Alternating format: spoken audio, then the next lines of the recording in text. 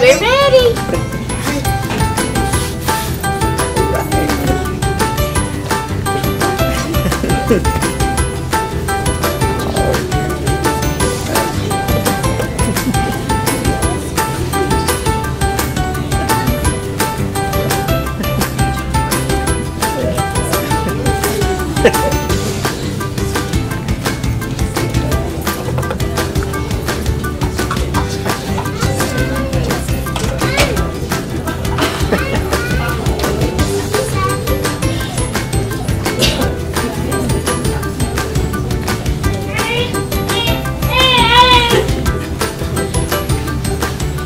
at this time, I'd like to introduce our special guest. For we've done this, we haven't done it in a couple of years, um, but we are fortunate this year to have Cedric Haynes from YFF. He is going to be. Oh, yes, I know the kids are all excited. He's going to be our MC, um, and so I'll turn it over to you. Oh, okay, perfect. All right. Well, first off, you guys, thank you for uh, allowing me to come out and join uh, with some of these great boys and girls here and get a chance to get to uh, really see their performance that they have. They've been working really hard on this, and so we're excited about seeing what they're going to provide for us. So, um, without further ado, of course, I want to go ahead and welcome the fourth production of Mother Goose on the Loose by Miss Lemons and Miss Connor's class. So, it's a nursery rhyme. It's basically a traditional song or poem that is often read and taught, you know, to young people. And uh, with that being said, I want to go ahead on and welcome our first act, the first poem that we're going to hear from. How about Jack and Jill? So if we could help welcome Jack and Jill to the stage.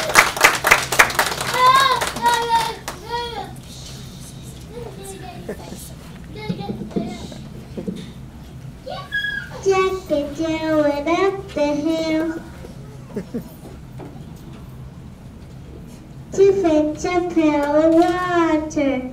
Jack fell down and broke his crown, and came tumbling after.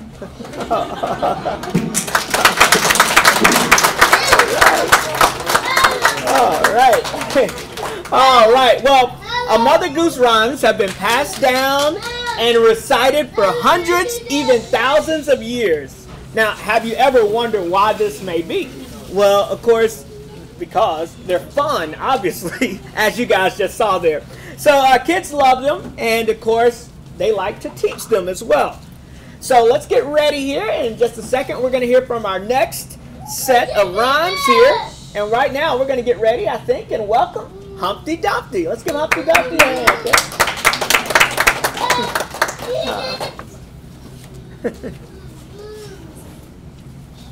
I'm glad that Corbin stepped up. One of our King's men is absent today, and this is Corbin, and he is from Miss Angoni's class, so he's stepping in, filling a big role. All right. All right.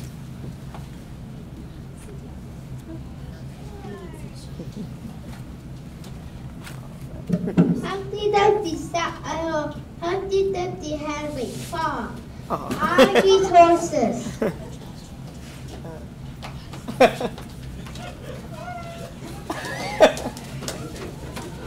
all these men could put Humpty together again. All right. All right. Now, a little bit more about Humpty Dumpty, of course. Humpty Dumpty was actually the name of a royalist cannon during the English Civil War. It was mounted on the top of a church tower. Now, when that tower was blown away, Humpty Dumpty crashed and then to the ground into the marshland. Though they attempted to retrieve it, all the king's horses and all the king's men, well, they just couldn't make it happen. So that's basically what we had there. Now, as we get ready here, Candle, jumping as mentioned in Jack Be Nimble, was one of the many traditional superstitions for predicting the future. Kind of like we predict the weather future, I guess, too. But, you know, we just use our finger for that outside, but it works. All right. All right. Now, uh, let's see here. Now, if you jump the candle and the flame remained, your future was bright. But if it went out, things weren't looking so good. Both of which were better than option number three. And of course, that was catching on fire. So now it's time to meet our very own Jack Be Nimble. All right. Here, Jack Be Nimble here.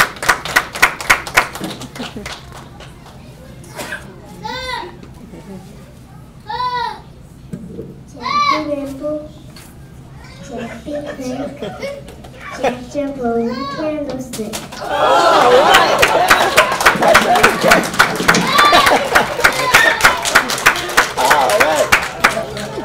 Right. Definitely better at predicting than me, so that works out. All right. So the rhythm between words and sounds that repeat in regular intervals encourage kids to remember words, which help improve auditory memory. So music and reading skills. Check out these next skills. Now, please welcome one of my all-time favorites. All right, three blind mice. All right.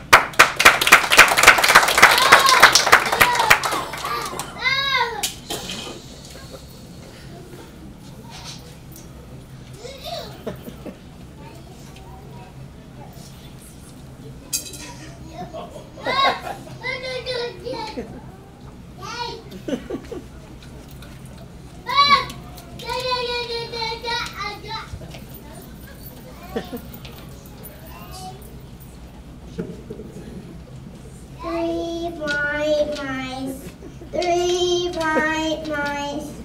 See how they run, see how they run.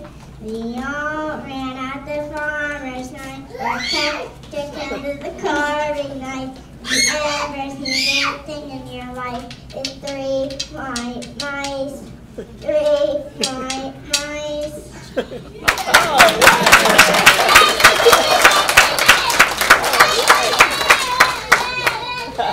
Yay. All right, love it, love it. So, animated nursery rhymes for kids are funny and win their attention quickly.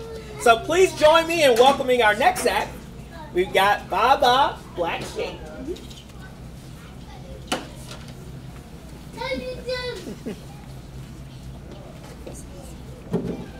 Baa baa black sheep, happy you. Yes sir, yes sir, three bags full. One for my master.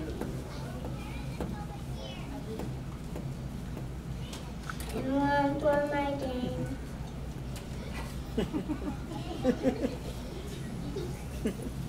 and one for the little boy who lives down the lane. Baa Baa Black Sheep, have you any wool? Yes, sir, yes, sir, three bags full.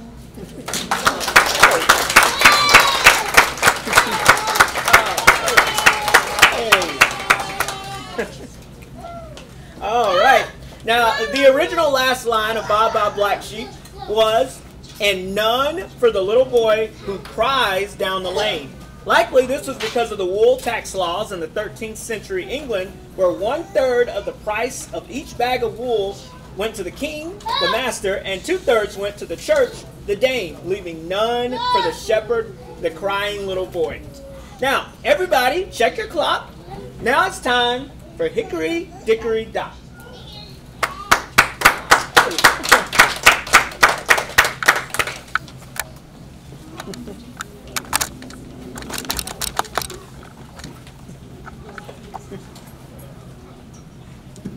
Hickory dickory dock. The mouse ran up the clock. The clock struck one. The mouse ran down. Hickory dickory dock.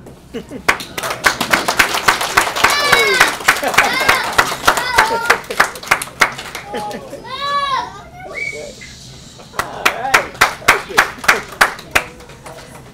Now, Mother Goose is the uh, mastermind behind all of this rhyming weirdness. So, who is this winged author, right? There are many theories about who she was, including that she was the wife of a 17th century uh, Bostonian named Isaac Goose, and that the pair had 16 children between them. Now, unfortunately, the truth is the search for the real Mother Goose has resulted in a big goose egg. All right. So there you go. Thank you. There you go. I'm here all day. I'm here all day. So somebody got it. Who can refuse helping our next performer? Let's welcome Little Bo Peep.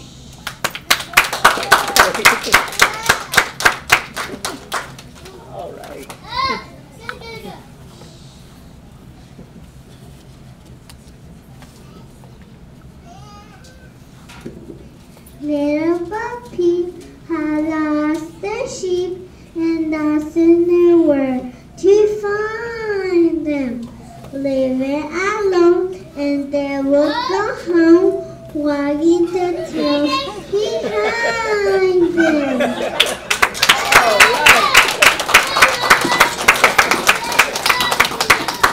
All right. All right. There we go.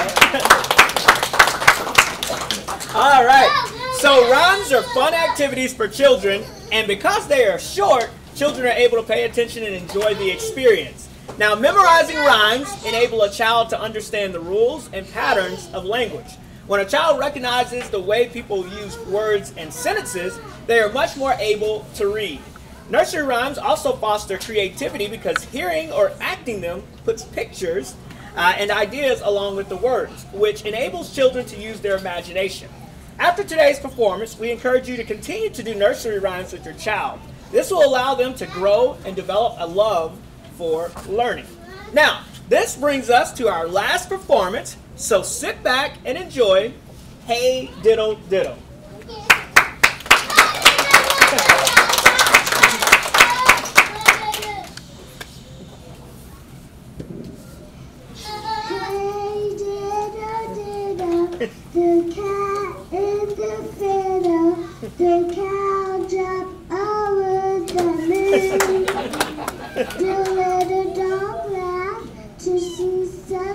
And the dish ran away with the spoon.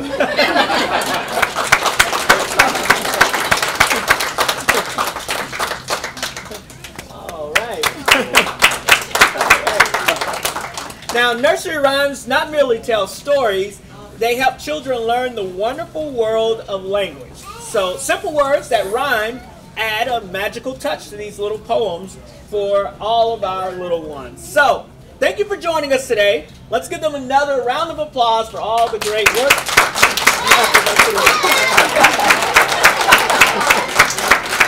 All right. Oh yes, we'll have them come back in too. Oh yes. Come on, Mother Goose. All right. All right.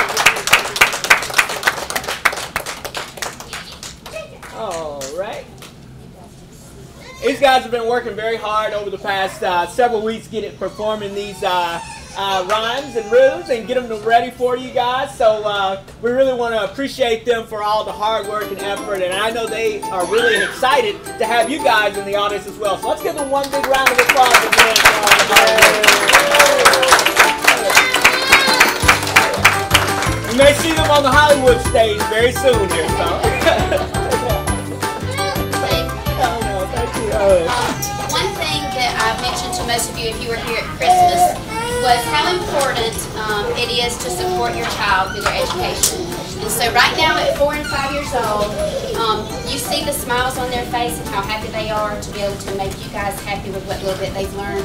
So I encourage you, no matter what it is, whether it's reading a book each night, um, that you just continue to take um, a part of your child's education. This are, these are the fun years, and we hope that at this early age we can instill a love of learning that will carry them through the next 12 years. So they have worked really hard, and each one of them has their very own nursery rhyme book that they'll be bringing home. Um, so we know that each one of them can say them, but we encourage you to continue to go over them with your child and help them practice the rhyming words, and they can track print. You'll be very impressed with how much they've learned. And girls, can you give one final bow?